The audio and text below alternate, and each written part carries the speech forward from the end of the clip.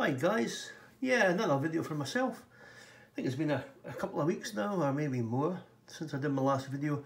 Uh, yeah, so I thought I'd just let you see what I've been up to over the past few weeks.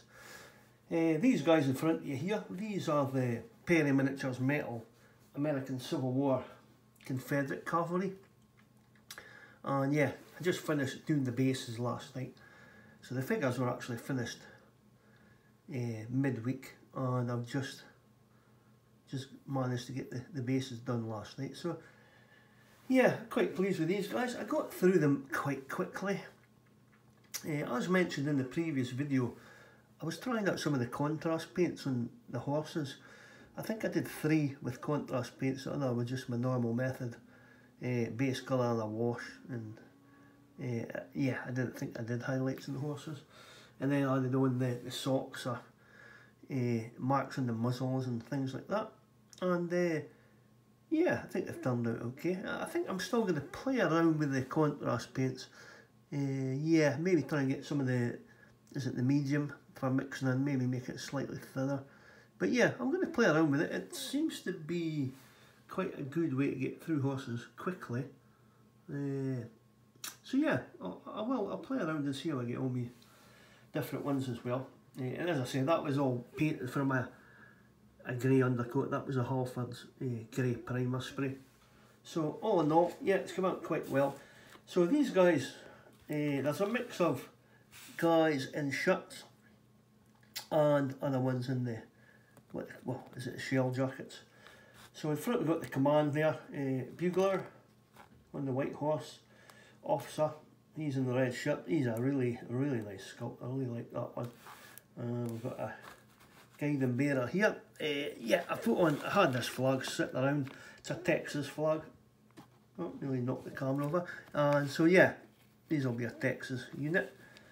And you'll see the second rank there, got a couple of guys in the more the regular jackets, uh, yellow facings, uh, yellow collar I should say.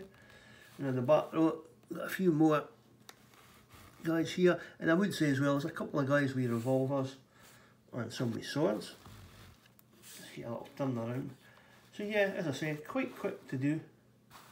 Uh, not as quick as doing Union, because Union is quite standard.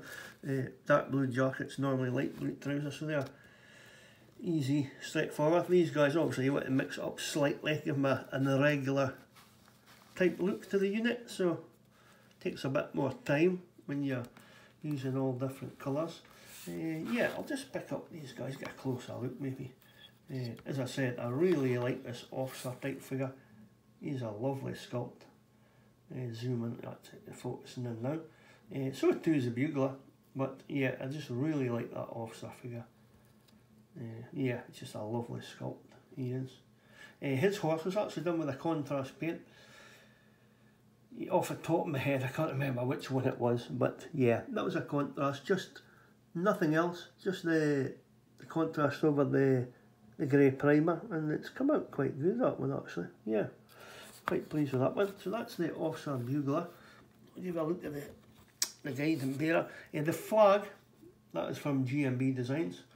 Oh, I've just noticed a little a little chip, or maybe it's a bit of white paint that's flicked onto the horse there. Uh, just, yeah, along from his boot, I'll to touch that up.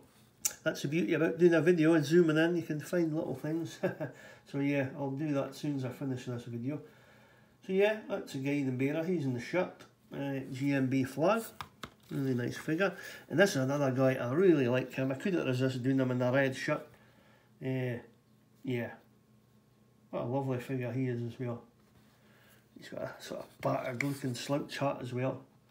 Thought I would do that in a light colour, but yeah, he's a really nice figure. That's another, yeah, that was another contrast coloured horse as well. Yeah, that one's nice. You look at the guys, two guys here with the regulation jackets on. One with a pistol, a revolver, and one with a sword. Again, lovely sculpts. Yeah, yeah. This this horse here, that was a contrast colour as well. I think that was a snakebite leather, possibly. Uh, yeah, I think yeah, I mean I wouldn't use contrast paints to paint entire figures, but I do find them useful for doing things. Uh, yeah. So that's that two guys there. And here is another cool figure. We've got another guy in a shirt here. Shirt and sword in the light coloured trousers and then we've got a, a more slightly leaning towards a regulation dress with the grey coat and the blue trousers. Uh, yeah, again, really nice figures. I say, I have mixed up the shades of greys and grey blues and that just to make them all slightly different. Uh, and then finally, this guy here, he's more regulation dress. sword upright. So yeah, see him okay. Nice facial expression on that guy. So I see something else, you know, it's just something. Yeah, cool. So yeah, that's that unit done there. Set that there. Uh, I just push out the side. There's a couple other things that I finished off actually a couple of weeks ago. But yeah, just not managed to get a video done. So I'll let you see, it's just some Napoleonic officers. Uh, firstly, we've got these guys here. Uh, now the mounted figure, that's a Wargames Foundry French officer. And the foot officer is actually the the metal figure from the Warlord Games Vistula Legion box set. And I've added on a Perry's French infantry shako head. Uh, yeah, quite pleased with that. So this is just another infantry command stand for my Italian figures. Uh, yeah, it turned out quite well. Yeah, I, have said it before, I really like the, the Foundry sculpts. I know they were done by the Perrys many years ago. Uh, yeah, slightly smaller, more to 25 millimeter scale, I suppose. But yeah, they are really nice. I really enjoy painting them. So yeah, uh, I was just looking for some stuff to do while I was doing other figures. And I picked a few figures out my boxes just to get them done. Here's another Perry's French ADC. Yeah, lovely figure again. Yeah.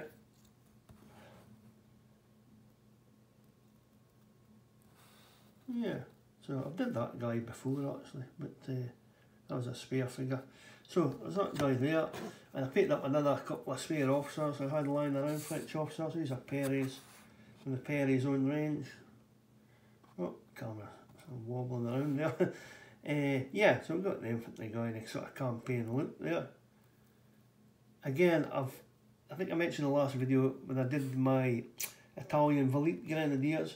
The trousers, I'm using the uh, Games Workshop base colour, the Wraithbone. Uh, I'm using that, giving it a thin down wash of Agrax Earthshades and just light uh, highlighting again with the same colour and I'm quite liking that effect. It's like a, a dirty white colour uh, and then also the cross straps and belts and whatever else is done in the white. So it's a nice contrast.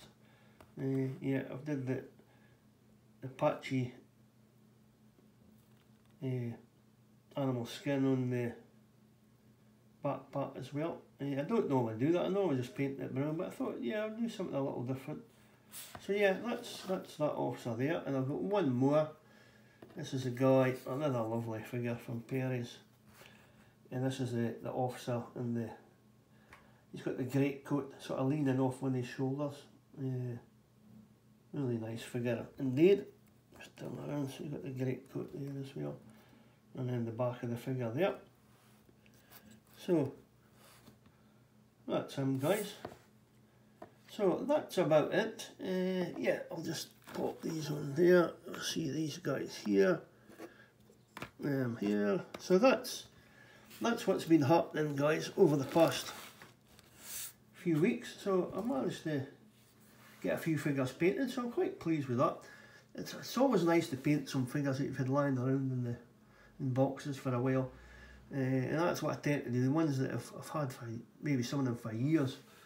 Uh, and while I'm painting a unit, I'll pick out a few and they'll get painted up at the same time. And it's nice to clear a few few little boxes out the, the, the drawer of unpainted figures as well. So yeah, really enjoyable. So that's it, guys. Uh, yeah, unit of Confederate Cavalry, some Napoleonic, French, and obviously one Italian command stand there.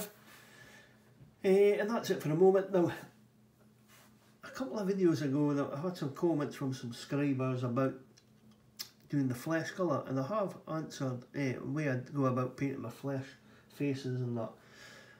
I did try and explain it over a, a comment, a reply, in the comments, but what I'm doing is, my next unit of figures, I shall, what I'll do is, maybe six of the figures or whatever, I'll I'll paint the faces in the different stages and then I'll, I'll go through it like that uh, from the, the base coat to the shading to the next layer until the final highlight and hopefully that will help some of the guys uh, and answer some questions that have been wanting me to answer about painting the flesh tones. If I had a better setup I could have probably did a tutorial but I think if I, getting the time as well that's the other thing, getting a good setup uh, yeah, if time allows, I may at some point try and play around and see if I get a better setup so I could do an actual short tutorial if possible. But in the meantime, as I say, I'll I'll get the flesh colours on some of these figures and I'll, I'll do a talk through in the stages and, and what paints and that I'm using and hopefully that'll help some guys out.